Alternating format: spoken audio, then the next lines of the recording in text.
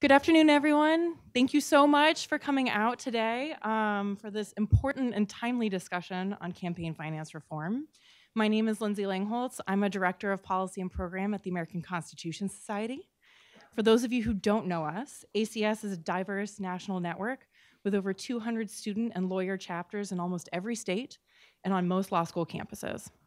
Our members are lawyers, law students, judges, policy experts, legislators, and legal academics who are committed to upholding the United States Constitution in the 21st century by working to ensure that the law is a force for improving people's lives. Next Tuesday marks 10 years since the Supreme Court released its decision in Citizens United. In those 10 years, super PACs have emerged as a major player in the political arena, and independent expenditures have skyrocketed at the federal, state, and local levels. The FEC now lacks a quorum and any ability to enforce federal campaign finance law. As everyone in this room surely knows, 2020 is an election year, and fears about foreign interference and public corruption abound. What could go wrong? To discuss our current situation we, um, and what we should be doing about it, we have a distinguished panel of experts. Our moderator, Michael Tomasky, is the editor of Democracy, a journal of ideas, is a columnist with the Daily Beast, a contributing opinion writer for the New York Times, and a regular contributor to the New York Review of Books. He appears frequently on radio and television to discuss current events and is the author of five books, most recently last year's If We Can Keep It How the Republic Collapsed and How It Can Be Saved, which is due out this June in paperback, so get your copies. Michael moderated a panel for ACS at our 2012 National Convention marking the two year anniversary of Citizens United, and we're delighted that he is with us again today. Please join me in welcoming Michael Tomasky. Thank you, Lindsay. Thanks. Thank, thank you so much for that. that was eight years ago, was it? Um, I'm glad you mentioned that the paperback is due out in June. That's not too far away. Please put that in your Google calendars. You won't want to miss that.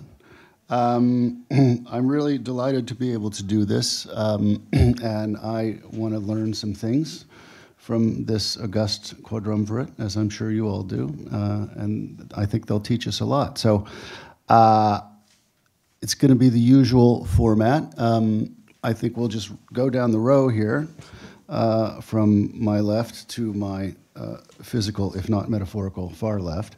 And um, and uh, uh, everybody will do a sort of five, six, seven minute, you know, your general uh, assessment of where we are here at this uh, at this 10 year anniversary. Uh, I'll give brief introductions to everybody. I think you have the material, but I'll just uh, and I'll not read these entire bios, but just as each person speaks, I think I'll just highlight a couple of things. Chisun Lee is very distinguished. Um, uh, uh, uh, you're not senior counsel anymore. You just got a promotion, isn't that correct? Aye. Yes, deputy. Yeah. Deputy director. Deputy director uh, uh, at the Brennan Center for Justice, which we all know is a great institution, led by my friend Michael Waldman. They do tremendous things, and um, and she works on. Um, uh, she's also uh, an adjunct professor at the NYU School of Law, uh, and she has been uh, done projects for ProPublica and is published in the New York Times, Washington Post, NPR, National Law Journal, PBS Frontline. Uh, her most illustrious uh, sentence in her bio, as far as I'm concerned, is the one that mentions the Village Voice because that's where I used to work too, some years ago. Uh, we did not cross I paths. I agree with that. yeah. we did not exactly. job I ever yeah, had. Yeah, My, uh, I could probably say the same. Uh, we did not exactly cross paths then, although I, I still suspect we may have uh, in New York City politics in the late 1990s. But anyway, thank you. I'm so glad you're here. So, Chisun, would you start us off with your uh, reflections on this anniversary? Thank you, Michael. And uh, thank you so much to American Constitution Society for bringing us together because there's nothing else going on in this town. So, like, what else would we be talking about or thinking about right now if not for the impact of Citizens United on our elections? Um, I want to, I'll keep it brief right now because there's a lot more to learn from my fellow panelists. Uh, but I'll just start off by saying that um, I'm here with very bad news and good news from the Brennan Center. Uh, my colleagues just put out a uh, jaw-dropping analysis, which is it's hard for me to be shocked, but trying to quantify what's been the impact of Citizens United on election giving. Um, you, you, know, the, the, news, political journalists, forgive me, Michael, have really caught on to this narrative that there's a huge wave of small donors. We haven't needed any reforms. Things are deregulated, but small donors are still fighting back and they're really driving elections. And so probably we're okay. When you actually look at the numbers, it turns out that in the most recent midterm and presidential election cycles, the opposite is true. Yes, small donors are surging. There are many more of them than ever before. They're giving more than ever before. But in the 2018 cycle, just 3,500 donors who gave 100,000 or more outgave all 7 million small donors defined as giving 200 or less. And in the last presidential cycle, the trend is similarly uh, alarming, where you had 400 people giving a million dollars or more to federal campaigns or super PACs that participated in federal elections. Um, 400 people who gave a million or more, far outspending 5 million small donors. So the giving is increasing from all quarters, but the very, very wealthy who are capable of giving enormous amounts are far outstripping the small donors. And this is a crisis in a democracy um, that is not supposed to be driven by wealth. Um, so that's the really bad news that we learned this week. The good news is that um, you know, and this, and we'll talk a lot more about this, I'm sure, but the effect of Citizens United and Supreme Court jurisprudence and governing law is our options are constrained. Um, but there's one policy that is fully available and has been growing all over the country. And at the Brennan Center, I've been leading its, uh, its growth and, and uh, adoption in New York State, and that's what we call small donor public financing, which is a really jargony way of saying um, under even the Supreme Court's jurisprudence, under the law that governs us in campaign finance reform, it's possible still to construct smart, um, fiscally responsible policies that will take that will use public money to amplify the voices and donations from small donors to candidates who volunteer to opt in and usually agree to certain conditions um, at, in return for being able to participate in this democracy enhancing reform.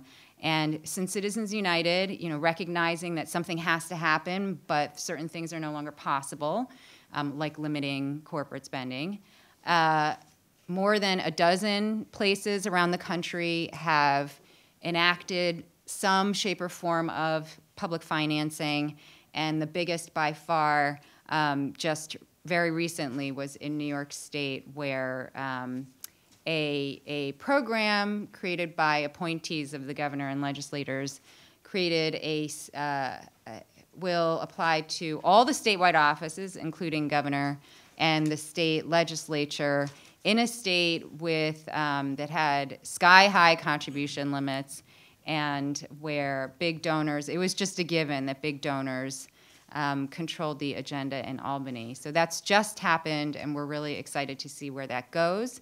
And I'm going to stop right there and pass the mic to Michael. Yeah. Just, uh, just a quick introduction. So Jason Abel is next. Jason is a partner at Steptoe, and he leads Steptoe's political law and campaign finance practice and advises clients on a range of government affairs issues. He once worked for uh, Charles Schumer. You know who that is? And he was just telling me that um, before we started the panel, that he was working for Chuck uh, on the very day, he recalls working for him on the very day that the Citizens United decision came down and what the reaction was like in that office. So we might be interested in hearing a few seconds of that, but um, the floor, sir, is yours. Great, thank you. And thanks, Michael, and thanks to ACS for the invitation. Um, it's funny, I, you know, I remember last year thinking, wow, it's been nine years since Citizens United. And I don't know, there's been some other stuff going on, right? So I didn't even realize it was 10 years until we got the email. And it has been a long and interesting 10 years. Um, as Michael said, uh, 10 years ago, uh, I was a lot younger, uh, and I was working for uh, a very shy member of Congress, uh, Minority Leader Chuck Schumer. Uh, what I say, obviously, it's not on behalf of him. This is, you know, your standard disclaimer. This is my own personal opinion, et cetera, et cetera. Um, but yeah, Chuck was chairman of the Senate Rules Committee, and I was fortunate to serve as his chief counsel in that role on that fateful morning when Citizens United was decided. Uh, we knew it was going to be big, uh, especially after the rehearing and all the buildup, and you know, we, we sort of knew a big opinion was coming down. Uh, after it came down and we quickly read it, uh, it was bigger than we thought. And, you know, there was a lot of talk in the hours and the days afterwards that this is going to unleash corporate and union money into the system, and it's going to really reshape how we look at campaign finance. And there were, you know, those friends that said, no, no, no, the sky isn't falling. Everything's going to be just the same.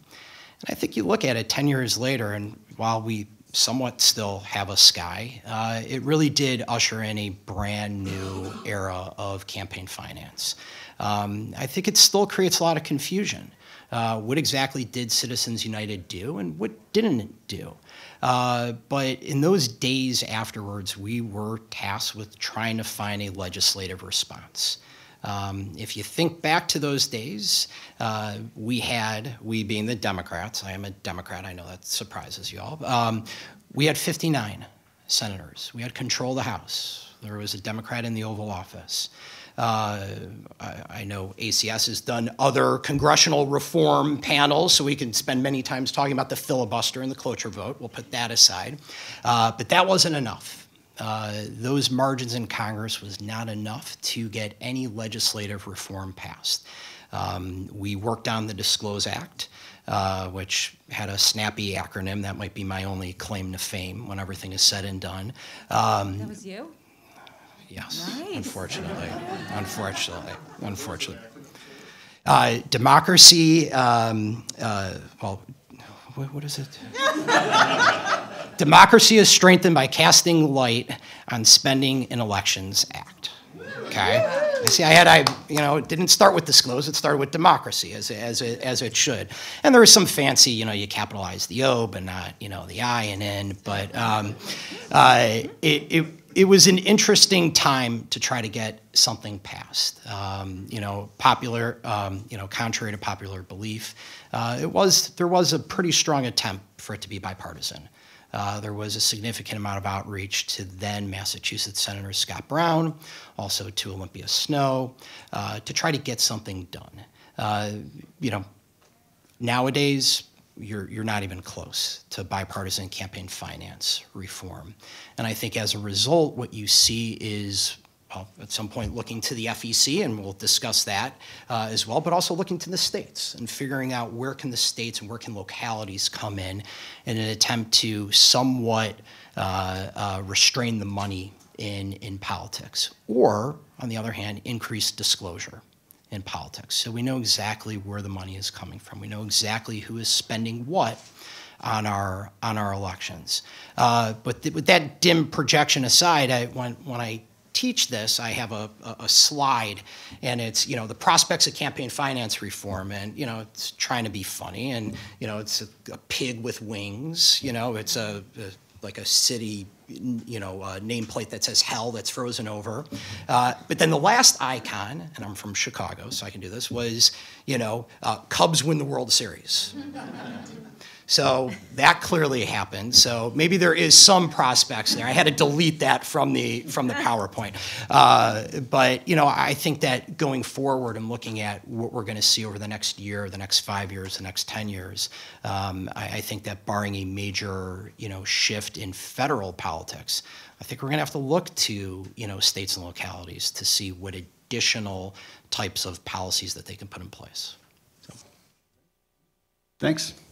Uh, Ciara Torres Spelliscy is professor of law at Stetson University. Stetson University is in Florida, isn't that right? Yes. And, uh, and she is also, look at that, a Brennan Center Fellow. So we have Brennan Center amply represented. Uh, she was a counsel to the Democracy Program at the Brennan Center, uh, associate at Arnold and Porter. She has uh, written for the Washington Post, New York Times, Slate, LA Times, The Atlantic, a whole bunch of places, arguably more than I have. And uh, she's uh, an author of uh, at least a couple of books, one of which is called Political Brands, which maybe we'll hear about for a minute or two.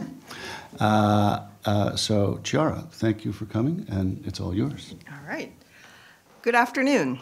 Um, I'm Ciara Torres Spelliscy, and my dad was an artist and a really uh, creative thinker. And when I was a, a youngster, he would tell me, Ciara, remember to ask the big questions. And the big question that I've been asking for about a decade now is what's the proper role of corporate money in a democracy? And that was the topic of my first book, and it's the topic of this book too. Uh, so before I was an election lawyer, I was a corporate lawyer at Arnold and Porter. And I left uh, corporate law running. I hated every minute of it. Uh, but when Citizens United showed up at the doorstep of the Supreme Court, I had to dust off my corporate skills and think about how this decision might impact the rights of shareholders. I wrote a piece for the Brennan Center um, talking about the corporate governance problems that Citizens United right, uh, creates.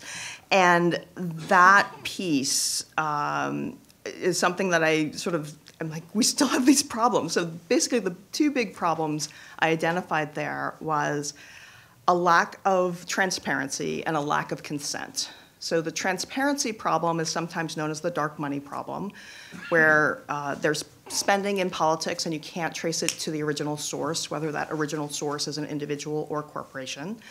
And then the consent problem is American shareholders in contrast to their peers over in England.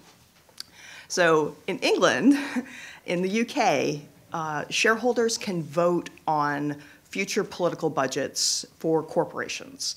And American shareholders, or shareholders in American companies, don't have that same ability to consent. So I spent the past 10 years working on corporate and securities laws uh, solutions to Citizens United. I worked on the Disclose Act. I also worked on the Shareholder Protection Act, which would have given American shareholders consent.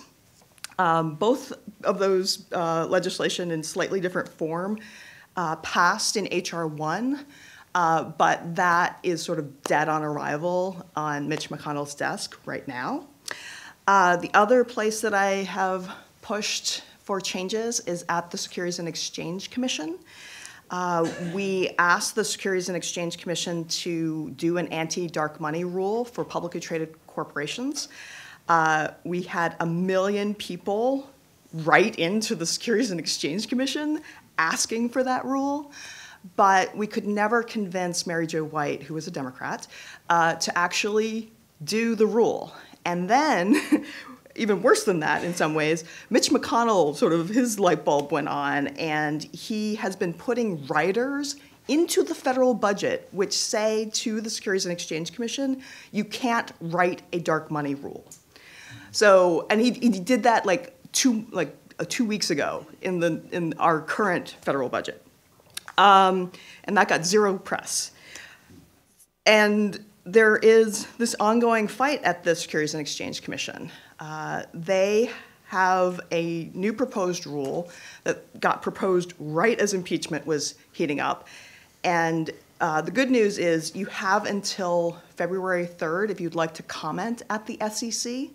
And here, here's the, the file number that you have to reference S7 23 19. S7 23 19.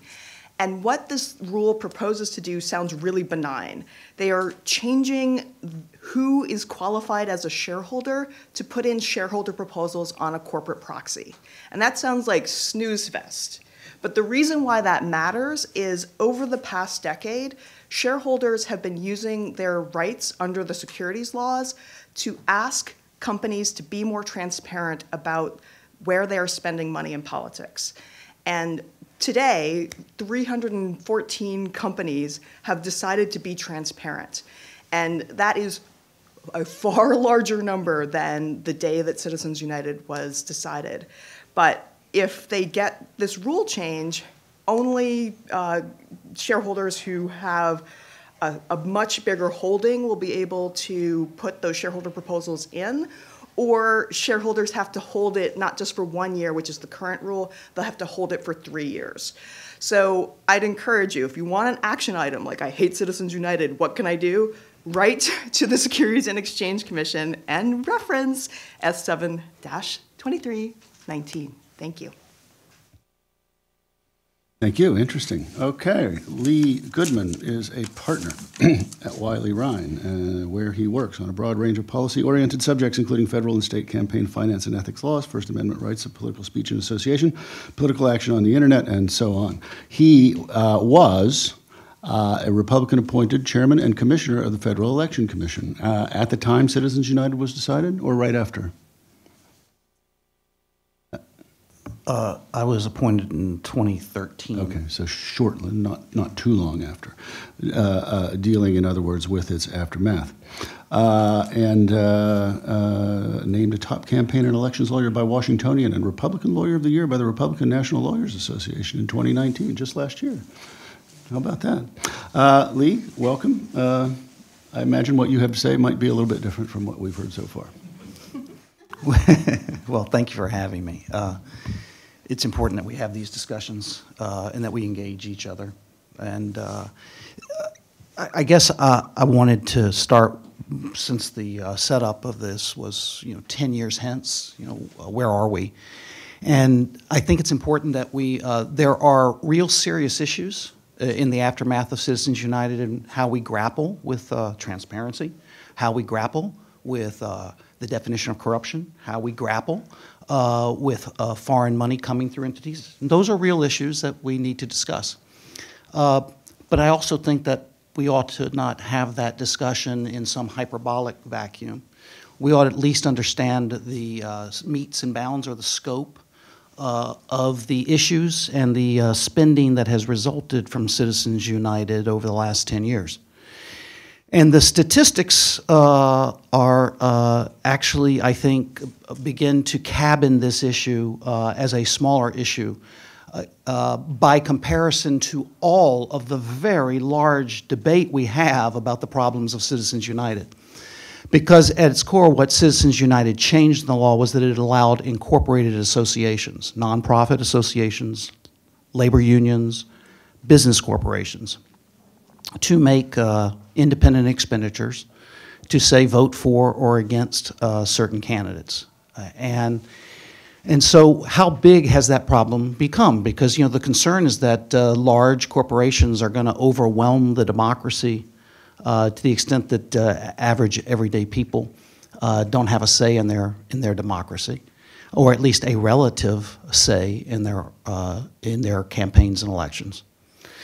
And so when you look at the uh, so-called uh, dark money issue, which is uh, nonprofit spending, um, a lot of the nonprofits that are spending are uh, uh, labor unions, and the total percentage of all the expenditures in the campaign cycles we've seen since Citizens United, the nonprofits that are spending, that is incorporated nonprofits, has been about 2.5 to 5 percent, depending on how you calculate that number. If you look at the super PAC spending, uh, the studies show that only about 5 or 6 percent of contributions to the super PACs are coming from business corporations. And of that 5 or 6 percent, uh, about 80% is from small corporations, meaning um, small private corporations, not uh, publicly traded corporations. And many of the efforts uh, at uh, blunting or cabining the effects of Citizens United are focused on um, the publicly traded corporations. they are uh, 80% of, um, I mean, sorry, they are about, uh, uh, they're a very small amount of the total spending in elections.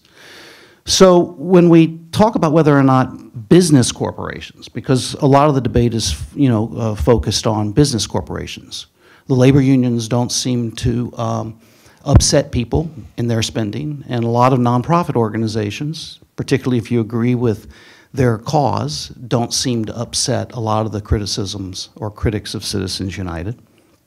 And so I just think it's important that we keep uh, in mind that we're talking about probably uh, well less than 2 or 3 percent of total spending in election cycles are, is coming from money utilizing the right recognized in Citizens United for incorporated entities, particularly business corporations, to spend money to influence elections. Uh, Another comment uh, or observation I think we ought to keep in mind is even utilizing uh, the right of super PACs to associate. It's not a, a if, if 80% of the money is actually coming from individuals, wealthy individuals albeit, wealthy individuals had a right to spend unlimited resources, personal resources, uh, in American politics and elections for all but two years, and that was 1974 to 1976. The amendments of 1974 put limits on expenditures, and in 1976, the Supreme Court in Buckley v. Valeo said that you cannot restrict an individual from utilizing their own resources to influence elections. And so uh, uh, the, I- the, the, the uh, right of wealthy individuals to make independent expenditures has been a, a, a First Amendment right for a long time, and Citizens United didn't affect that.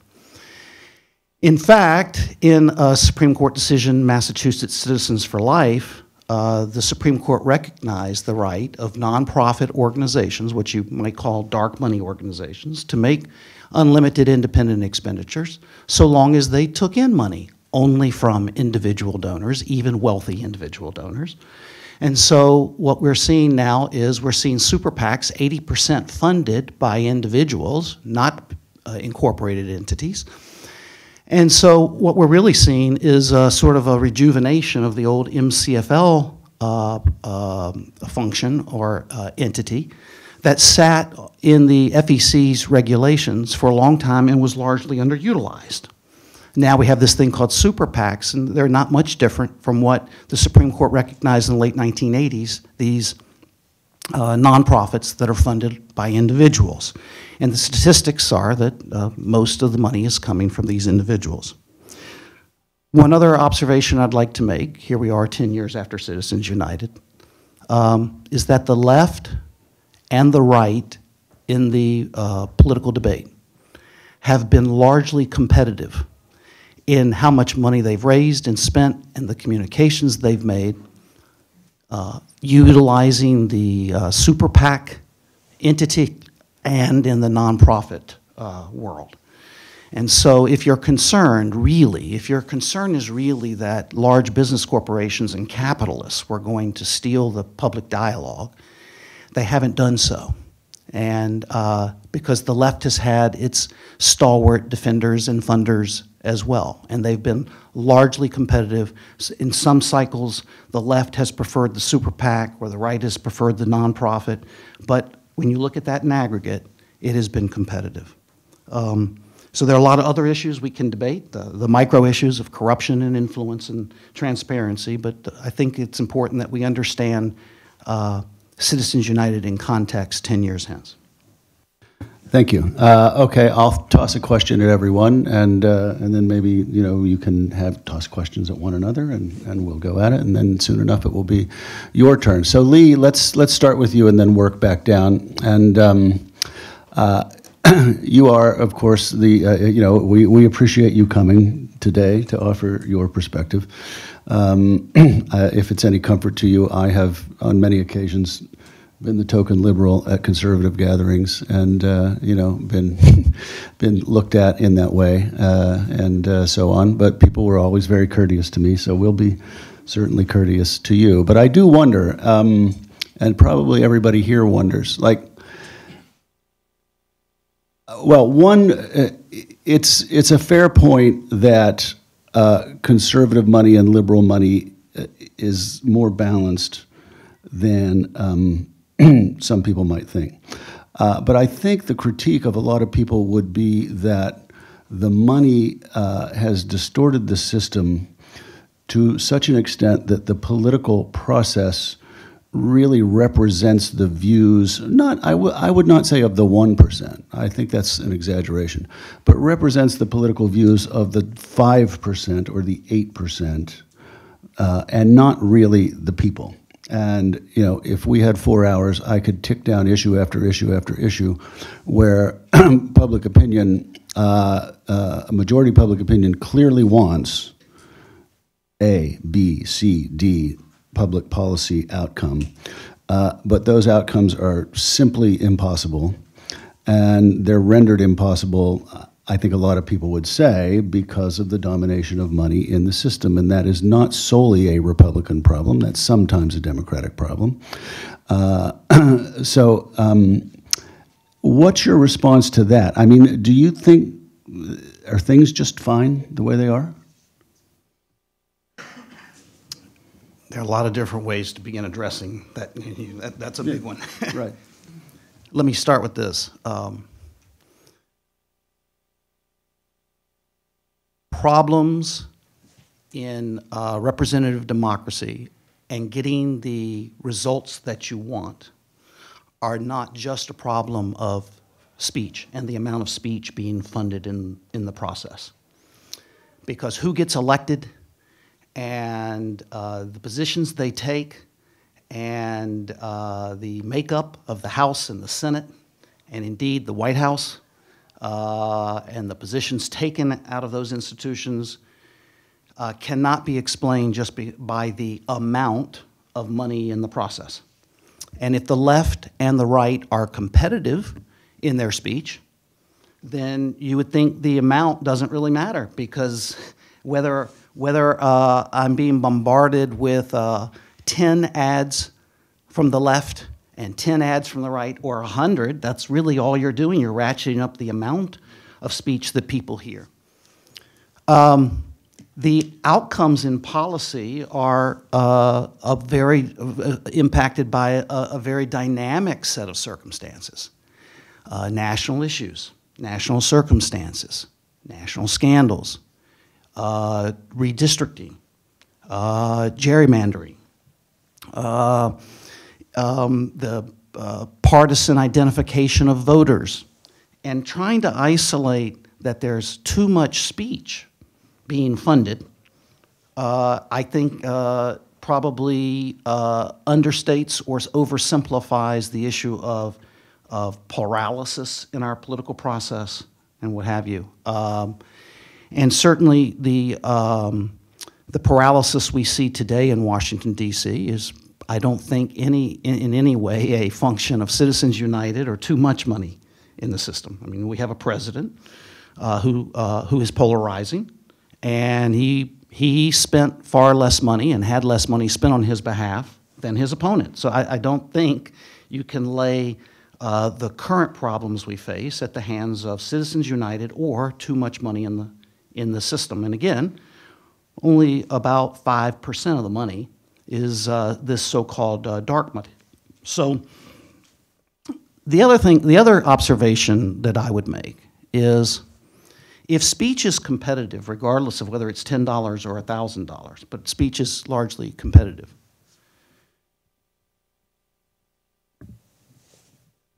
what we are talking about at the end of the day, and this is why I'm a libertarian in this, in this field, I'm not here defending the Second Amendment and guns. Guns might kill somebody. I'm defending the First Amendment and words and the ideas those words express. And to say uh, there's too much money in the system is to say, well, there are too many words being expressed and too many ideas uh, being debated uh, in a way that distorts not necessarily the politician, but might distort the people who hear that speech. A politician is not going to take official action on speech that is irrelevant, does not resonate, uh, or uh, that is not, does not influence public opinion. And so, what you're ultimately seeing is speech that influences the people and public opinion, and only when speech influences public opinion does it then influence official governmental action. And so, there's a chain of causation here, but you have to understand speech itself doesn't necessarily influence the politician, it goes through the intermediate step of influencing public opinion. And so, what you're ultimately indicting in, in, that, in the analysis that, that you presented was uh, there's too much money funding too much speech, influencing too many people, which then causes politicians to take positions that uh, uh, we don't like. And how that gets translated through a representative body has as much to do with party identification and uh, redistricting, probably, than it does the money spent in these elections. I'm curious if anyone else up here wants to comment on this set of issues, which is really at the heart of it about money and representative democracy. So, Sure. Um, so if we're looking 10 years uh, in the past, uh, over that decade, we've had a billion dollars of dark money spent in federal elections alone. And you're right, it is around 5%, but only in my crazy world of money and politics is $1 billion also equal to only 5% of a bigger number. Um, and because it's dark, we don't know if the original source uh, were publicly traded corporations, unions, uh, rich individuals, or foreign individuals. And um, if we're bringing in uh, current events, I think of Lev Parnas as the product of our deregulated campaign finance system. He took a risk that if he made a, a, basically a shell corporation and he had that shell corporation give to a super PAC, that that would not be scrutinized. Now he bet wrong. The SDNY was onto him, and so now we know that at least a million dollars in his coffers was from a illegal foreign source. Now, if you'll remember, right after Citizens United, President Obama, in his State of the Union, warned America that the, the Citizens United decision could open the floodgates to corporate and foreign money.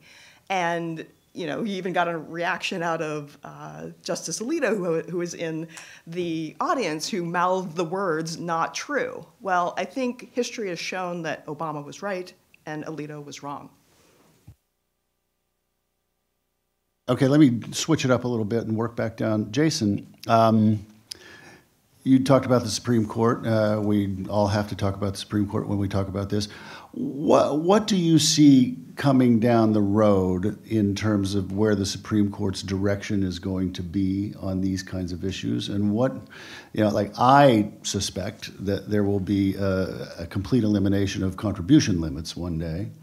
Um, do you see that, or what else do you see coming? Or are there, are there indeed specific cases in the pipeline on, that, that groups are trying to get the court to grant certiorari here? So it, it's interesting. When we think of Citizens United, we think of, you know, uh, corporate money in politics, right? We think about, uh, you know, the idea that corporations are, are people, right? I mean, I think that a lot of angst about that opinion is focused on that. But, you know, to, to get at your question, there, there really is an underlying issue with Citizens United that really isn't, you know, it hasn't really pierced the public consciousness in ways that you'd think. And that's how the court defines corruption. And that's extraordinarily important because that could determine what laws and what regulations survive and what get, you know, what get shot down. Um, and, you know, in its opinion in Citizens United, the court actually overruled a, a, prior case that talked that gave another rationale for why you can regulate the campaign finance system. Um, the court was very clear in Citizens United that really quid pro quo corruption or the appearance thereof is, is really the rationale for regulating campaign finance, right? We're not going to talk about undue influence. We're not going to talk about improper access. We're not going to talk about aggregation of wealth in the system is all reasons for regulating our campaign finance system. And this idea, uh, you ask some, they say, well, this is just merely repeating which, what was said in Buckley, right? It was always about quid pro quo corruption. Uh, you ask others, including those that dissented in Citizens United, and they would say uh, they've, you know, the court, in its opinion, tightened the screws. It really now has only focused on quid pro quo corruption.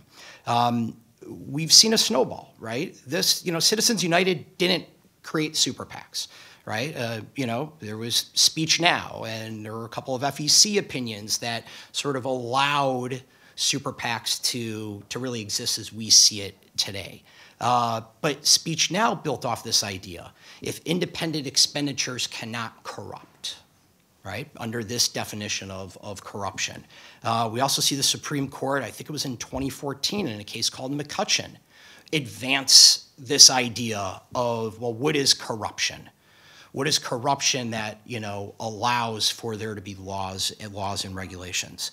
So given this groundwork, I think it makes rationalizing and justifying and defending certain campaign finance regulations pretty hard, right? I mean, if quid pro quo corruption is is really, and this is, I'm not saying I support this argument that I'm about to make, but you know, the idea is is the contributor and the candidate. So under that theory, it's going to be a lot harder to defend contributors giving money to, let's say, the DNC or RNC. Because where's the quid pro quo corruption? There's no exchange of money to a candidate. So I think when we look at various limits, when we look at limits to the political parties, when we look at limits to political committees in general, I think that when those get challenged, and we've seen various challenges in the past, but as some of those challenges get more advanced, I think that under this doctrine, I think it's not saying it's impossible, and I'm not predicting that these laws will be, these rules will be struck down, but I think it makes it just that much harder to defend. Jason, just uh, have at it, you know, I'm interested in your Yeah, thoughts on all sure. these things. Well, well, pick up on, on what I hear in, in what Jason's saying, which I agree with.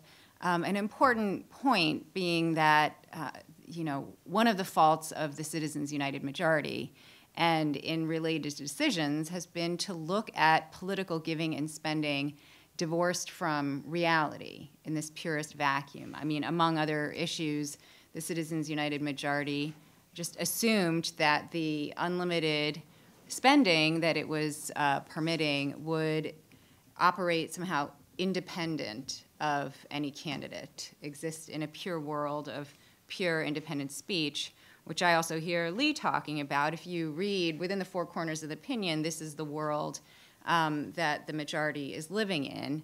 And uh, you know, we all know that that's not how it operates. The majority also assumed a world of effective enforcement, where things like coordinating between unlimited super PACs and candidates who are regulated because they can be corrupted. Uh, the, the majority assumed a world where there would be effective enforcement, and people would know. They assumed there'd be transparency, so we would all know what's going on, and there would be an effective watchdog making sure that uh, unpermitted things were not going on, and this is not the reality that we live in.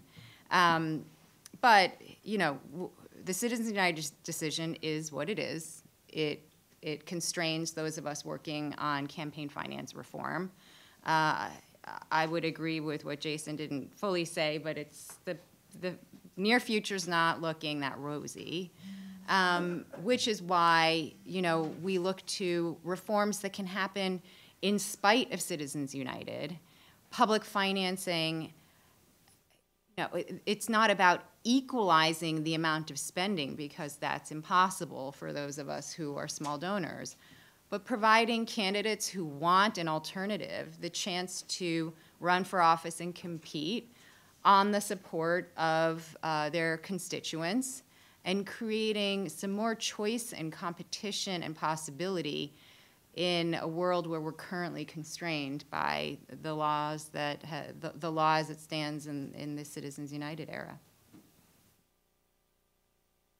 Uh, Why don't we, uh, just a little thought experiment, and stay with you, Chisun, and work our way back down, because I think you'll all say things that Lee might want to respond to. But uh, just, you know, if you could wave a wand and, and develop a campaign finance regime that you thought was just and equitable and fair, uh, what would be the main salient points of that regime?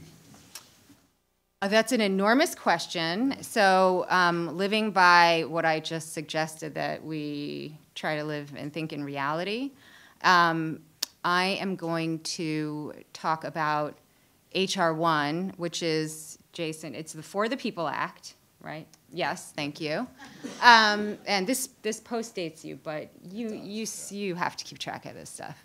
Um, and so, you know, the For the People Act that passed the House and is, as Ciara pointed out, sitting on Senator McConnell's desk, um, contains a suite of reforms that would do a lot, even living in the world of Citizens United, to make things more for, fair and equitable and transparent and competitive.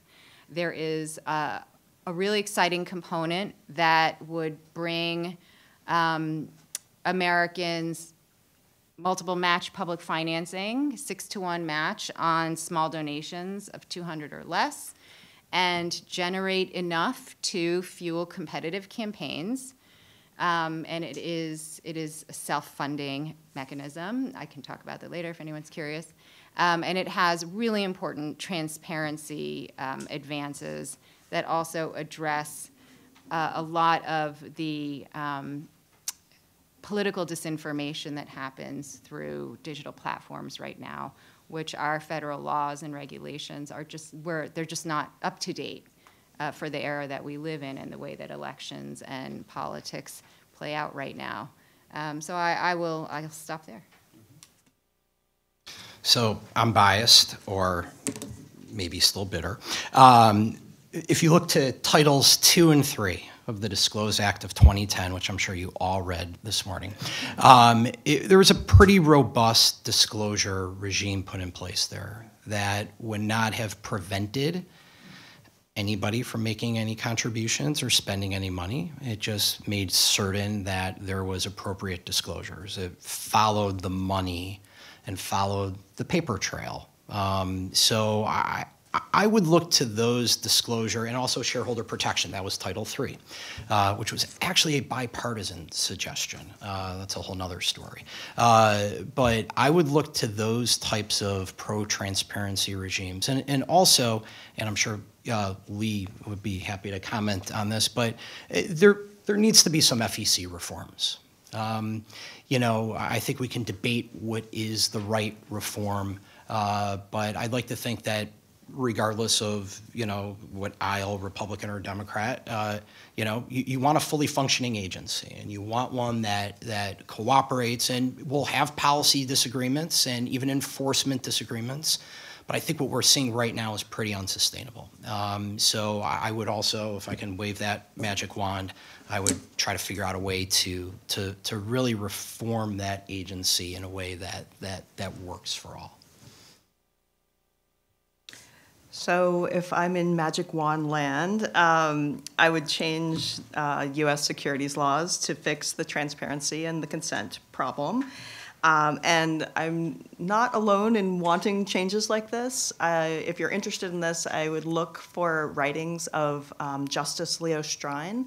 He just retired from being um, a Supreme Court justice on the Delaware Supreme Court, and he hates Citizens United possibly even more than I do. The other thing, if you had a magic wand, uh, you could change the Constitution. And there's been this effort to amend the Constitution to say that corporations are not persons and uh, for the purposes of political spending, and that expenditure limits would then be constitutional. Uh, that is often referred to as the 28th Amendment e- effort, though because what Virginia did this week with the ERA, maybe we'll have to change the name to the 29th Amendment.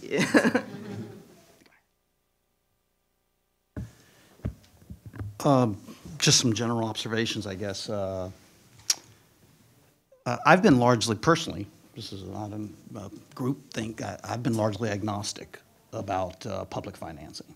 Um, if, uh, if people want to appropriate money to spend uh, on their uh, democracy, and it's a voluntary opt-in, uh, I've never been opposed to the presidential financing system.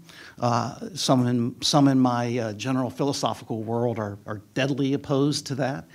And I've been largely agnostic so long as it's a voluntary system and so long as people opt into to doing so and as long as taxpayers, you know, want to fund that. Um, uh, the securities law issue. Um, uh, it, it has a reasonable ring to it. But you do need to understand the suspicion of corporatist. And that is that the uh, transparency laws that are going to open up all of the expenditures internally for contributions to the U.S. Chamber of Commerce, or in other words, political spending isn't just a corporation spending to say vote for or against Smith, but even contributions to organizations like the U.S. Chamber. Uh, the suspicion is that that proposal uh, is a proposal of ideological opponents of business corporations and capitalists in order to push them out of the public debate and ultimately to punish them if they do participate in the public debate and therefore to harm shareholder value, not to enhance shareholder value. And so there is that suspicion of that proposal, and somehow we need to reconcile that with the idea of that shareholders ought to have a say. Now, the law in the United States, going back 50 years, there are old cases about the delegated authorities that those who run corporations have to decide whether to make charitable contributions or not, whether to spend on advertising for goodwill for the company or not. Those, those historically, and courts have upheld, have been decisions of the management of the company. Um, and, uh, but, but it's a legitimate issue to discuss, the, uh, the, the issue that you raise, but, but you do have to grapple with what happens when a corporation spends money and therefore then face boycotts and protests from people who are not even shareholders, who just want to harm the shareholders of that company. As far as other reforms, um, uh, oh, as far as amending the First Amendment goes, the uh, proposals we've seen to amend the First Amendment in Congress aren't about Citizens United. No, the amendment to amend the First Amendment is about undoing the whole paradigm of Buckley v. Valeo and allowing the government to restrict all expenditures for speech, uh, regardless of who that is. And uh, to, uh, to, that is to reverse the uh, paradigm Buckley v. Valeo that the right to use your resources to buy speech uh, is a fundamental First Amendment right. And so uh, uh, if it were just Citizens United, it might have greater traction, but I think it's overshot a bit. Um, as far as uh, FEC functionality, uh, we can have that discussion. Uh, there are a lot of statistics that go into that and comparisons of other agencies. Um, you know, the, the statistics that uh, largely go to the unsustainability of the way it is currently functioning largely focus on the number of 3-3 vote divisions uh, on important substantive issues. Um, uh, the courts have taken note, and I've now been reversed, I think, in three cases uh, in federal courts. I think I still have been upheld in the majority of cases where I was challenged. I was once reversed by a federal court uh, for overregulating. and so um, but my point is the system does have a relief valve if you think there are too many 3-3 votes. Uh, the statistics run from 15, depending on what you count and how you count them and the methodology applied.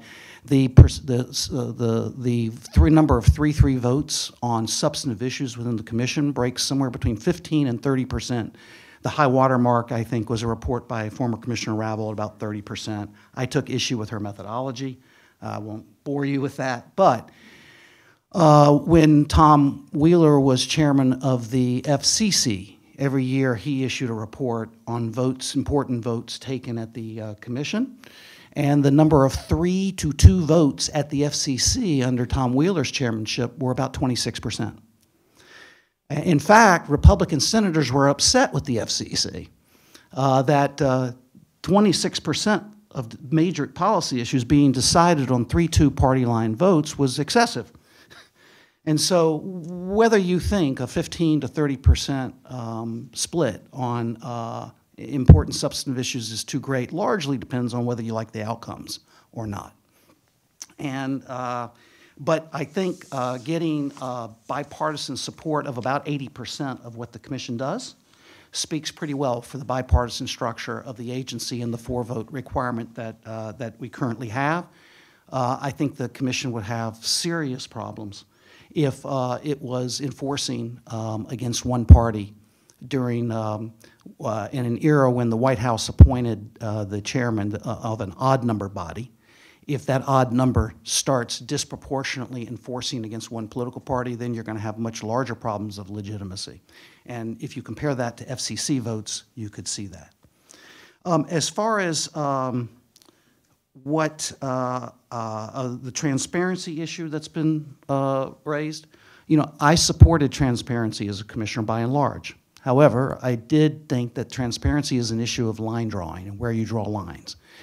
And what's being debated uh, at uh, the uh, commission and in federal courts right now is where to draw those lines. And there must be a line drawn. There must be a, lawn, a line drawn between forcing or compelling exposure of American citizens when they associate and spend uh, for political purposes. Uh, it, there must be a line drawn between that that influences elections versus that that is policy oriented and issue oriented. Uh, because the First Amendment right of private association still exists in our law and is very important to all of us. And there is a demonstrable social cost if we draw the line so far that we start forcing nonprofit organizations like Planned Parenthood Action Fund to disclose all their donors just because they make one political expenditure.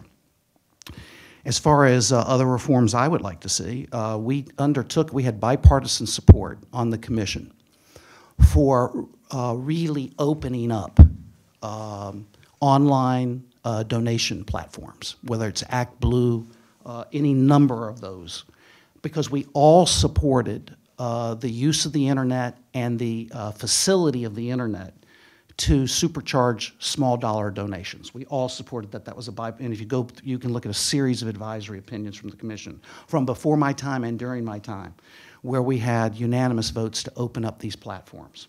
And ActBlue was one that got a, a couple of advisory opinions.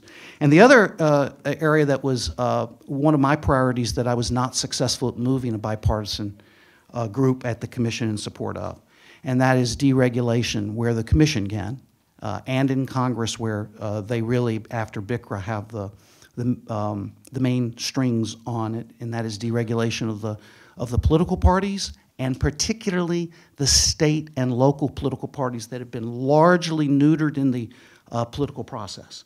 They've been pushed out of any relevant role in the political process uh, under the new definitions of the Bipartisan Campaign Reform Act, or McCain-Feingold, because it started regulating what they could do in terms of get out the vote drives uh, and what we called federal election activity. Uh, as a guy who was once a general counsel of a state party and worked very closely with state and local political parties, I can tell you I, I've often referred to them as the Motel Sixes of political organizations. There's always a light on there's always a local party that is willing to take volunteers and the type of populist political, and to facilitate the kind of populist political participation that I think everyone here supports. And uh, the, I, think, I think there is bipartisan consensus that BCRA overreached in pushing uh, effective political participation by state and local parties out of the political process. Okay, that's a lot. Um, Let's just uh, work back down this way. Uh, Ciara, I would imagine you have something to say in response on the question of the SEC. Uh, Jason, I saw you writing. Chisun, I saw you thinking. so uh, why don't we just come back down this way, and then I guess it'll be about time uh, for your questions. So uh, I would just reiterate that uh, the fight over the legacy of Citizens United is a live one and one of the fora uh, for that fight is the SEC. Um, it is not an accident that they are trying to change who can put in a shareholder proposal, which I know is a snooze fest. I, I'm nearly like putting myself into like a napping position when I talk about the Securities and Exchange Commission.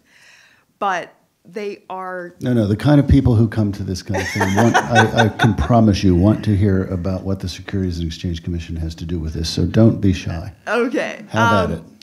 But I think it is entirely in response to shareholders speaking up for themselves over the past decade and insisting upon no dark money from the corporations that they invest in. That's how you got to over 300 firms being more transparent. And so now you see the pushback in this uh, proposed rulemaking. And again, if you want to uh, give a comment to the Securities and Exchange Commission, it's S7 23 19. Thanks. So, something that Lee said was was interesting, and I think completely accurate uh, about the constitutional amendments. Um, and when I first got to Senator Schumer's office, uh, he had in the past worked with Senator Specter, who was then a Republican, uh, and I believe Fritz Hollings was was on this as well. It was a bipartisan constitutional amendment, essentially to overrule Buckley. This is years before Citizens United.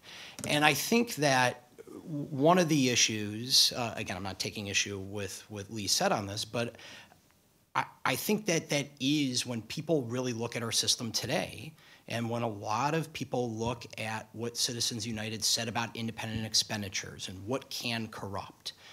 And I think when they laugh at that, and I think some people laugh that really, so a $3,000 check from me to a senator for her reelection, that can corrupt because it's over the limit.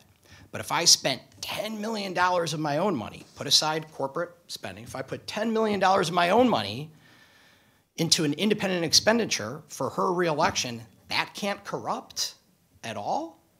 And while, you know, and I mentioned it before, while Citizens United, I think, put a finer focus on this, that's, that's Buckley. That's Buckley v. Valeo's distinction between an expenditure and a contribution. I mean, you, I could you, we all can bore you with the scrutiny and how the courts look at this, the difference between an expenditure and a contribution, but there is this distinction between actually turning money over in a contribution and spending it without passing it along. And I think that when you look at some of these magic wands, I think that, you know, some folks, while might be rightfully charged up about Citizens United. A lot of this comes decades earlier in, in Buckley. So I think that that's an important point to make. Whether that makes anything better here, that we're looking at even more entrenched problems or protections in our campaign finance system, I think is, you know, is, is something that, that, that should be pointed out. So I have um, uh, an observation and then an action item of my own. Uh, it was interesting to hear you, Lee, talk about the what's what's going on with state and local political parties right now, because this issue came up um, during the the effort we just worked on um, and succeeded in, with the exception of a local issue that I won't bore you with.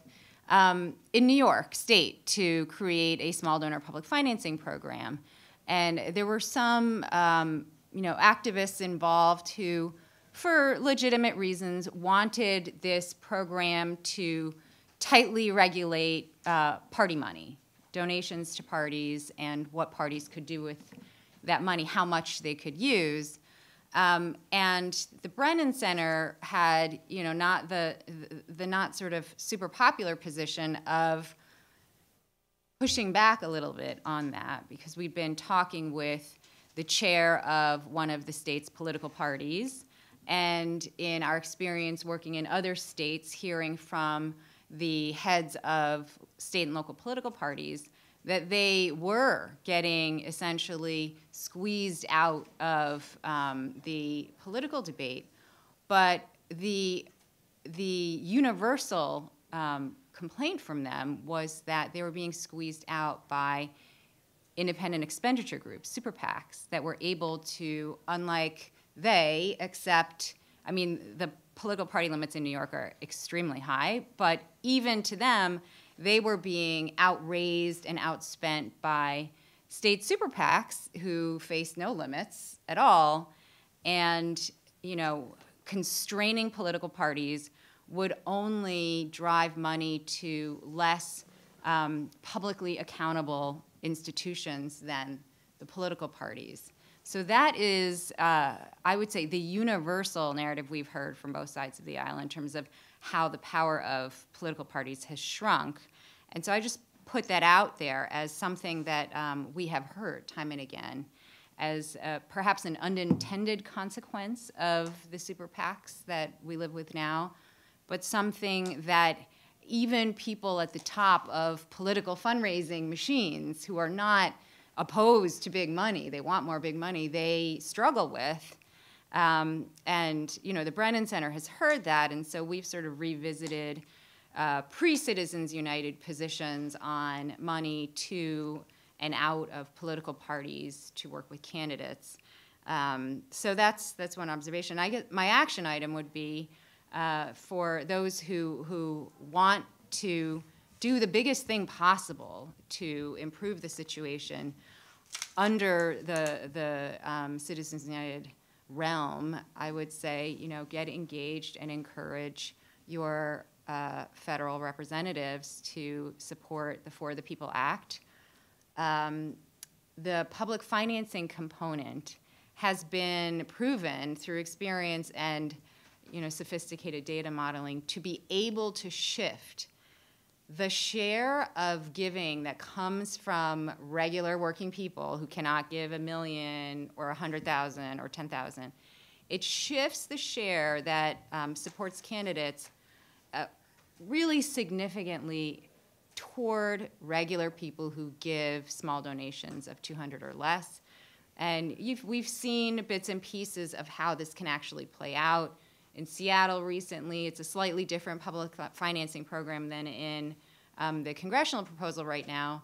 But um, you saw that publicly financed candidates to the city legislature there were being um, opposed, progressive candidate. I mean, I, I'm the Brennan Center is nonpartisan, so this is irrespective of what platform they were um, running on. But uh, Amazon and some other big corporations that have a major interest in Seattle we were spending exorbitant amounts in super PAC money, independent expenditures, to try to influence the outcomes of these elections. Um, and the candidates who took public financing and were the subject of attack ads from these uh, multi-million dollar ad campaigns prevailed in four out of six of those contests with I, I haven't i don't know the math myself. I'm just it's safe to assume that they spent a fraction of a small fraction of what was being spent against them. So public financing it doesn't equalize things. No one pretends that. But um, if designed right, implemented right, and if, if, these tough questions about political parties and such are thought through, it is one mode for um, for sort of reviving and and restoring democracy for people who can't play at that hundred thousand dollar, million dollar level. You ended that perfectly because it is exactly 20 till 2. And so I, do I keep trains running on time or what? Uh, do we have a microphone, Lindsay? For, for yes, okay, uh, yeah. Can we? Um, I guess this gentleman in the Michigan hat. That's a Michigan M, is it? Okay, very good. So my name is Stephen Spitz, uh, and I want to direct this to Jason and the others who want to comment. Um, I like that you're from Chicago. I am as well. Um, I think you're also dead on that some of the most overlooked parts of Citizens United, and particularly McCutcheon, is the cramped definition of corruption. Uh, I live in Virginia. Dominion Energy, which everybody, most people in the state, it's a state regulated, supposedly state regulated monopoly, because of the amount of money they give to legislators, including my state senator, who's now the majority leader of the state senate, they uh, put through a bill in 2015 saying that they don't have to be regulated by the State Corporation Commission anymore for five years.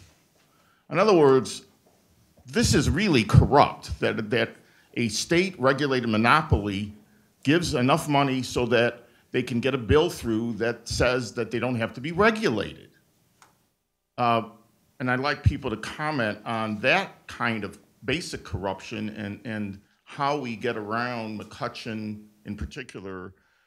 Uh, you know, Bob McDonnell got off probably because of the McCutcheon analysis of corruption when in the Virginia Way he took a lot of money th- that, uh, but they didn't say you didn't really quid pro quo it enough, even though it was by the jury's definition and the public's definition totally corrupt. Yeah, so I, I went to University of Illinois, but I'll answer your question anyways. Uh, Big Ten, you know, camaraderie. Um, so it, it's hard. We focus primarily on campaign finance today. Um, it is hard sometimes to separate campaign finance issues with other uh, uh, good government or functioning government issues. I think, you know, we talked about gerrymandering and, and districting, and that obviously is an issue as well. Uh, but when you combine campaign finance issues with, with lobbying issues, um, especially in a state, and I, I live in Virginia, where, I mean, there are no restrictions, right? I mean, you know, corporations can spend, not just spend, corporations can give unlimited amounts. Individuals can give unlimited amounts, a very different structure than what we see on the federal level. Um, we, what we've seen is we've seen it actually turn into a policy issue, and I think you're, referring to uh, uh, your state senator. I mean, he had a pretty tough primary challenge last time around. Uh, he was successful, but and that was part of the issue. It was the impact of dominion, right? So on one hand, uh, you know, there are these policy choices that are now being put forth you know, on campaign finance issues, on good government issues. We see it in the Democratic primary. Uh, you know, many of the candidates try to, you know, outflank one another on who's not going to take money from which type of contributor. Um, you know, it's it's hard. Um, personally, I think it's hard to look at corruption as just quid pro quo corruption. I think that if you look at some of the comments um, from, and I'll get partisan for a second, uh, some of the comments from those members that voted for the tax bill. Uh, that passed Congress, I think, a couple years ago. Uh, there was some discussion about not wanting to let donors down, or how are we going to go to a fundraiser if not passing tax reform. Um, the Supreme Court's definition in Citizens United, advanced by McCutcheon, is that, yeah, that's not corruption, right? That's not quid pro quo. Uh, a more, I'm not even going to say expansive, but a different view of corruption is that's, that's undue influence. That, that, that should be corrupt. Um, where do we go from there?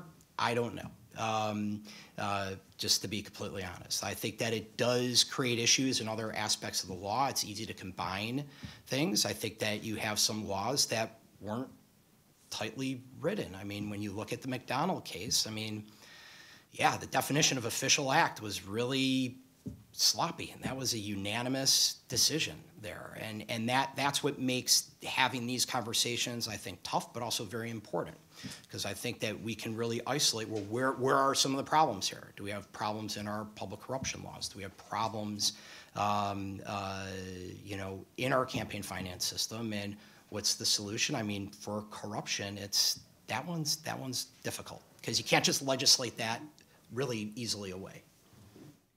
Can I add on to that? So fans of the Supreme Court uh, narrowing uh, the definition of political corruption have one more thing to cheer about, which is the Kelly versus U.S. case, which is pending before the Supreme Court right now. It's better known as the Bridgegate case. It, the oral argument was this week. It didn't go well for the people who hate corruption. Uh, and so that uh, narrowing that they did in Citizens United and in McCutcheon, they could build on that because they've been narrowing the definition of corruption not only in campaign finance cases, but in white collar crime cases like uh, Governor uh, McDonnell's case. So keep an eye on the Bridgegate case because they could do even more damage.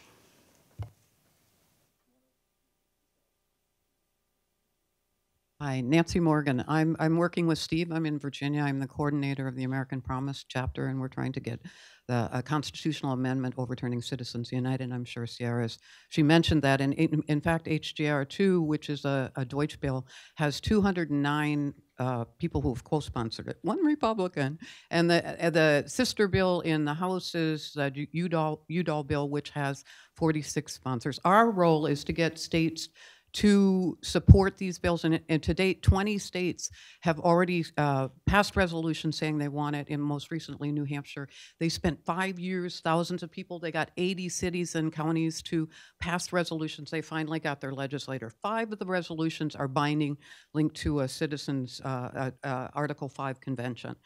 And in Virginia, uh, just in follow up, because you mentioned the state issues, and in fact, Virginia is the only state where I could hand Stephen, if he's running for election, a million dollars and he could turn around and buy a house with it. So, in fact, there are, there are last year 10, uh, 10 campaign finance bills were introduced, they all died. This year, they're just in the process of discussing them. There are like six bills which were limitations on campaign finance, banning prohibitions from um, state regulated monopolies, disclosure laws, uh, restricting personal use of campaign finance, and a, a, small bill on public financing of elections.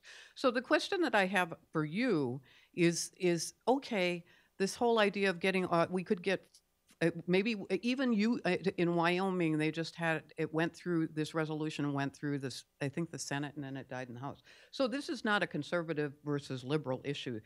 80% of Americans want this to happen. So the question that I have for you, is it possible to get a constitutional amendment you know, that would be passed and what are the implications of that? And then, and the whole issue of campaign finance, say, for example, in Virginia, at what point does it run up against Citizens United? And I just like to end with this because eh, you're a, you're a conservative, a libertarian, and I love John McCain, and I always have this picture eh, that where he said that 30 to 70 percent of time by legislators is spent on on on getting money in politics, uh, getting money to to run, and American the Americans are are disenchanted with government. So I think that this is this is the time, but the question is how far can we go?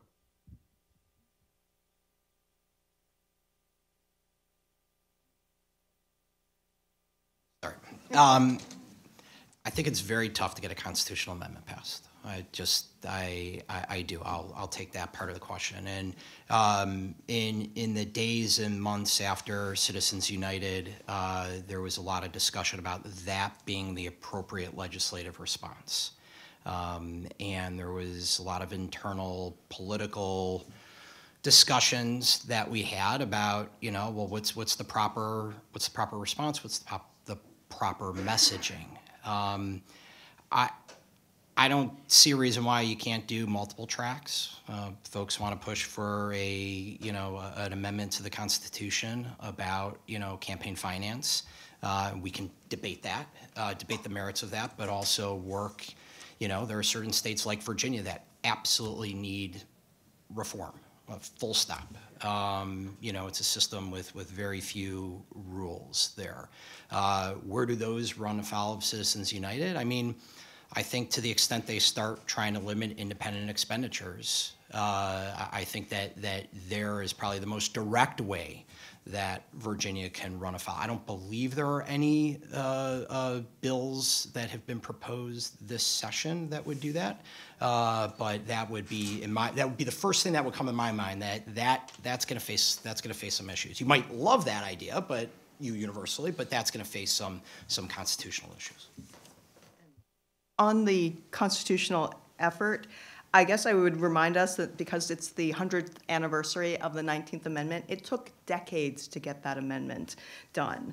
Uh, and when it was voted on finally in the House, it, it passed the House by a margin of one vote that they needed. It passed the Senate by one vote that they needed. And when it was finally confirmed by the final state, which was Tennessee, it passed by one vote. So it can seem impossible. I'm sure for most of the women who were suffragettes, it seemed impossible to amend the Constitution in that way, but they eventually succeeded. One vote by a young legislator who was forced to do so by his mother. uh, let's have shorter questions and shorter answers. We've got 10 minutes. I saw several hands up. So, ma'am, can you, you just like decide? Yeah, I have a very short question because it's not a Citizens United question. Um, and it's to Jason and Lee only because you guys have identified as partisan. And I don't want to bring the Brennan Center into that. Um, so, what is your theory of democracy? Because, Lee, what I hear you saying is if I have a megaphone that I bought for $20 and you're shouting with your voice and I win in debate, the megaphone had nothing to do with it. But then, Jason, I see the Democratic Party on the other side have no problem putting at least one person on the debate the other night who clearly bought his way in. So it seems neither side really has a fundamental issue with money in politics. So, what is, if you're talking to a fifth grader, uh, your theory of democracy and money representing the best you can from either side? I, I think the debate stage was wrong. I, I don't believe that you can. Uh, I don't think you should be able to buy your way up there. Uh, and, and I think that there were other qualified candidates that should have been on that stage uh, and that were forced to drop out. Um, and I think that, that you have a, a, a difficult situation. I think there's going to be a lot of discussions afterwards about whether the debate was was properly run. Um, my theory of democracy, uh, I think, somewhat aligns with, uh, and it's somewhat derided now, but what Justice Thurgood Marshall said in the Austin case. I don't believe that we can have uh, too much money that would distort our political process. I think an aggregation of wealth uh, is is harmful to our democracy. Uh, even if it is speech, even if it is buying a, a bigger megaphone uh, or, or bullhorn, I think that that is harmful. Um, Citizens United overruled that case. Uh, and that would be something that, you know, in, in a magic wand, I'd, I'd wish to see back. Yeah, uh, I start with a, from a fairly libertarian view of this. And uh, first, so, so the idea that uh, Americans can use their resources to speak and Americans' right to hear that speech is my North Star in my idea of democracy. Um, in the current federal law and in the proposals to amend the First Amendment, there is always a uh, provision that says the press will not be so limited. And I have never fully understood why uh, the press is accepted from all these other notions of uh, the use of your resources to speak. So, for example, if I told the New York Times, you have all the free press rights in the world that you can exercise, just you go at it, New York Times, but we can put a limit on how much you spend to cover the news and to editorialize on your editorial page. We can restrict how much you spend. That means we can restrict uh, the expense that you spend on your printing press, and how much ink you buy and how much paper you buy and on your uh, excuse me your distribution system of your newspaper. So everyone says that in the First Amendment the press has this unlimited First Amendment right. But when it comes to every other citizen who might not own the printing press but wants to rent the printing press, because that's what you do when you buy a 30 second TV ad or when you buy a half page ad in the New York Times, you don't own the printing press, but you are renting it. And I've never appreciated that distinction that somehow, if I want to temporarily use the New York Times' printing press or CBS's um, distribution system and broadcast license, that's, or, or Twitter or Facebook's platform to run ads, that somehow I get lesser First Amendment rights. And I fundamentally trust the American people. Because American people choose when they are bombarded with those ads. And, and by the way, there is increasing evidence that the ads are less and less influential. But the American citizen chooses whether or not to listen to the ads, whether or not to be persuaded by the messages that they hear, and whether or not to vote, and whether or not to vote on the messages that whether it was large corporations or large labor unions or rich guys like Tom Steyer or, um, or the Mercers, you know, they, the American individual has the right to hear that speech and then to make a decision on how to vote. And since the American people still vote in our elections, I'm not concerned about the amount of speech and the bombardment of speech. And in fact, never before in the history of our democracy have we had so many avenues of speech. It's, it's a veritable cacophony of speech. And, uh, and yet, people are self selecting on what they want to read online and which sources they want to read, and they're making up their own opinions and they're so voting. And I don't think that the American people need a high degree of paternalism to protect them from whether it is corporate funded speech or whether it is labor union funded speech or whether it is an individual billionaire's speech. Uh, I think that uh, the American people, I trust them fundamentally to decipher what resonates with them and what doesn't, and then to vote. And because the people still vote, everything else is really secondary to that. That, that's my approach to this and why I take a fairly libertarian view of it. Let me add this. To me, uh, I, I, I've, we all speak on a lot of panels. In, what, I, uh, what I often hear is the corruption rationale is too narrow. So let's broaden it to broader influence philosophy. And now what we're hearing is, well, government should also get in the uh, business of um, moderating speech. I heard Senator Warner make this, uh, these remarks about Section 230 and how if we required transparency of anyone who talks about any political subject online, they might moderate what they say because they have to put their names on it. So now moderate government policy to moderate public discourse is creeping into our parlance.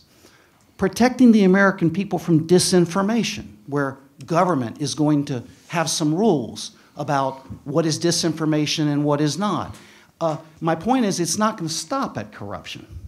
And so, uh, my position is let the speech be had, let the American people, uh, let the American people be persuaded by it or not. And finally, this in a lot of the, uh, the arguments on my side of the table and on the reform side of the table, you need to listen very carefully because there is a subtext to many of these debates. And that is, I don't really like the capitalist message and the influence it has in the policymaking, whether it's minimum wage laws, whether it's the tax bill that was just passed, and, and whether that was a sop to uh, big business this subtext about defunding the right or restricting the socialists in the 1950s or 60s, uh, they go back for a hundred years debate between capitalists and labor. And those people who want to micromanage the rules of speech often have an ulterior motive mm. about who's going to get to speak and who isn't. And they make arguments about what will improve democracy's functioning by control of who gets to speak and who doesn't. And to me, the First Amendment is not the domain of a political scientist who gets to manipulate democratic activity like we do in a, a, a science project, and inputs and outputs.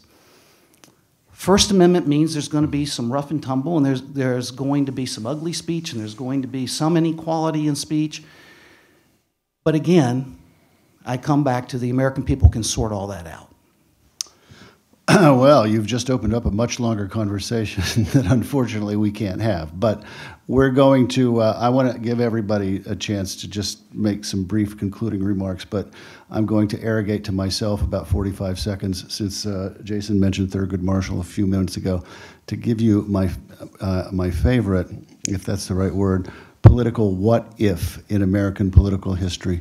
Thurgood Marshall retired from the Supreme Court. Does anybody know when? August of 1991, there was some discussion at that point. Things weren't, quite the way they are today, but there was some discussion at that point that, hey, maybe you shouldn't have retired. Maybe you should have waited to see how the next election turned out. Uh, but he didn't. He was ailing. He felt like going. It wasn't quite the fraud issue then that it is now. Do you know when Thurgood Marshall passed away? January 25th, 1993, Bill Clinton's fifth day in office. Bill Clinton would have appointed his successor. Take that home and think about how different the entire history of the last 27 years would have been if he had stayed on the court. Now, uh, last fast question. If we reconvene in 10 years and discuss the 20th anniversary of Citizen United, what are we going to be talking about? Should I? I'll go. Okay. Um, first, thank you all for coming and staying. I hope that we're going to be talking about solutions that uh, Congress has come up with and that a president has signed to help alleviate the problems we're talking about today and different Supreme Court maybe. But I think um, if I can just say, give, not speak to the question necessarily, I will just ask uh, I'm encouraged by the fact that people are engaged and questioning and challenging. The most important thing that we can do is not just be complacent and just assume things have to be the way they are. I love the asking of the big question what is our theory of democracy? Um, I appreciated the nod to nonpartisanship, but that also um, iced out a couple of voices on the panel. So I'll just say that it's important, I think it's fundamental that wealth should not determine one's ability to have to elect a representative that is going to represent your policy preferences. It shouldn't determine whether a person can run for office and win. And when you look at the statistics, uh, you know the um, women and women of color are a tiny fraction of candidates who run and people who are able to give money for historical reasons that I think we can all agree with. Um, so that brings us to a question of what can we do through laws and policies, maybe restrictions, but also affirmative reforms to try and bring the ideal of our representative and equal democracy uh, closer to a reality. And I'll just leave that. Well, thanks, everyone. I appreciate it. In 10 years, um, I hope we're talking about, and I think we will talk about, about how our republic was stronger than we thought it was, and that how uh, good people came together, which regardless of your political stripes, and uh, fought for a, a just and, and, fair democracy that ensured uh, uh an equal voice for everyone. Yeah, I'd build on that. This is going to be a noisy and crazy and uh, tumultuous election that we are about to be uh, go through. Uh, but I hope that we can look back uh, 10 years hence and say that this was not a low vote, voter turnout election, that Americans engaged, because ultimately, I agree with Lee on this point, that American democracy is in the hands of voters. I've been a bit uh, called a bit Pollyannish about this. Uh, I happen to believe that uh, new technologies may eclipse a lot of the concerns about the effects of money and Citizens United. Uh, the ability to register people, turn out people, organize people, speak to people uh, is be, uh, being supercharged with technologies through the collection and use of data and through the ability to communicate low cost and uh, the, high, the days of high cost advertising are already waning. Uh, there are studies showing that they are less and less effective. And so I happen to believe that um, uh, there are going to be more and more uh, upstart grassroots candidates who are facilitated by new technologies and are able to do a lot of the disruption uh, that people were up here talking about and give uh, challengers a fair shot at incumbents. Uh, and so I'm, I'm actually optimistic that technology will eclipse a lot of the rules and the problems we have with uh, spending um, that we're discussing. Let's thank this terrific panel and the American Constitution Society.